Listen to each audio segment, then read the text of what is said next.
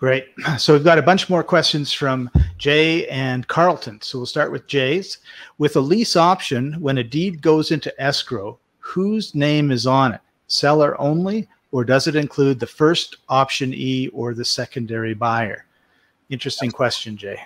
Well, Jay, no, it does. It it whomever is going to be purchasing the property is whose name would be on there. I would not involve your potential buyer of the property because they could come, they could go, things could happen in that relationship that definitely we don't want that to interfere with the relationship we have with the seller.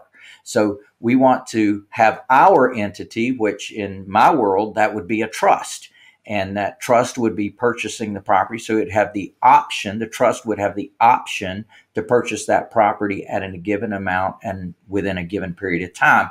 And that's what name would be at the top. It'd be the name of the trust and the trustee.